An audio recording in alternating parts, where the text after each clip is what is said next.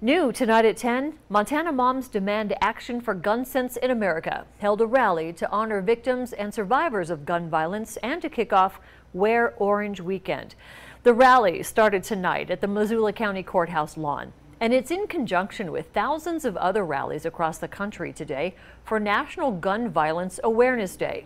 Participants were asked to wear orange as it's the color for gun violence victims.